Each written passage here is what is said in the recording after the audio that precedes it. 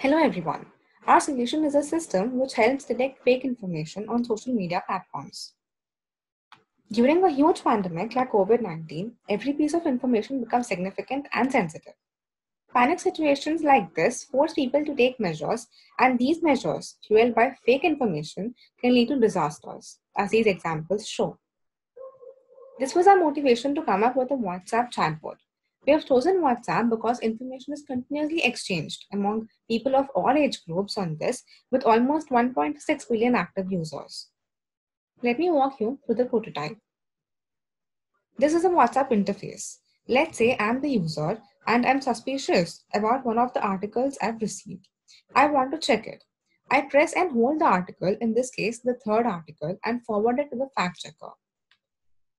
I almost immediately get a text response from the fact checker whether the article is real or fake, along with an explanation. It is not just limited to forwards, but one can type in the information he has heard, say from a friend or on the television. The working is depicted through this flowchart.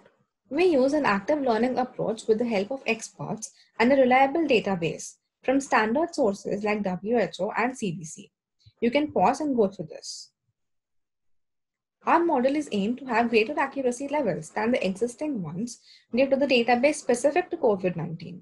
And manual detection of the articles encountered for the first time also increase the accuracy levels.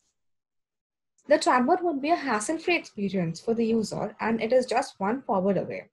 It doesn't demand using a different app, leaving the current interface that is WhatsApp as many other existing models do.